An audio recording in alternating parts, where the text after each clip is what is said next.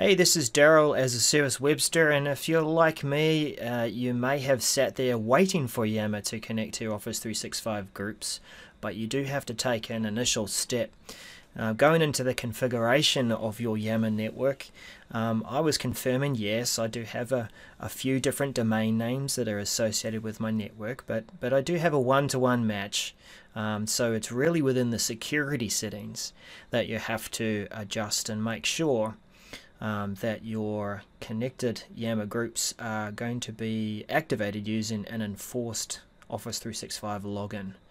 Um, so there's no need for me to test this, so I'm going to commit to enforcing it right here, right now.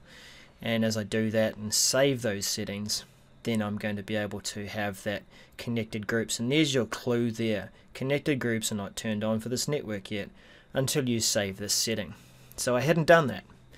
As I do save it, we'll just go down now and confirm that it is indeed in place. So if we create a new Office 365, rather a new Yammer group, I'm just going to go along with the scenario of an office relocation that we're planning to do. Bring in my old mate Matt Stafford and create the group. It's a public group.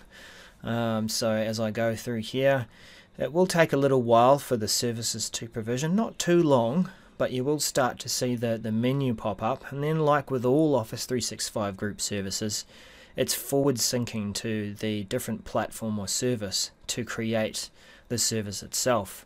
So SharePoint Online is provisioning now in the background. Of course the OneNote will be in the background too and the planner space as well. So I have my links there. There's my Office 365 resources and it's a connected group. It is now connected the Yammer group is now connected to an Office 365 group. So going through to my SharePoint document library, let's uh, put this one to use. It is um, sitting within a, a SharePoint team site, of course, and I can click directly through there. Let's just bring across a document into the document library. Uh, I thought I'd choose a, an Excel spreadsheet just to try this one out. So it's uploaded and um, we'll go back and have a look at this from the perspective of a group conversation.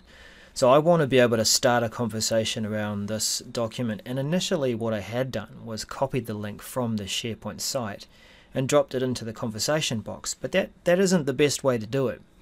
Uh, so let me just start off a conversation here. Please have a look at this list of contractors. And what I am going to make use of, uh, rather than pasting in the link, uh, because that would just appear as, as um, just a, basically a link. But this, this way, if I select from the OneDrive, which is a bit confusing with the naming, but um, it's really the Office 365 Groups team site document library, I'll select the document there. And um, so that brings through the direct link to the, the document.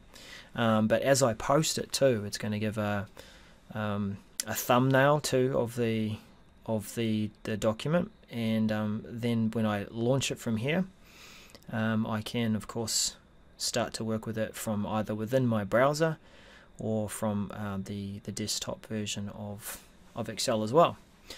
So go through in here, change a, a thing or two about the title. That's usually the safe thing to do during a demo. Uh, yeah, we'll just remove the, the S off schedule. Alright, and um, we don't need to save of course because that's saving all in the background. Let's click the Office Relocations link and that of course takes me back to that document library.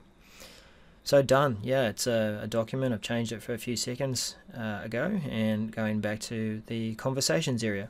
And you see that's the pattern too, even with Outlook and that experience you can click in that top corner. So we'll go into Planner now and, um, and set out a few tasks, our Office Relocation.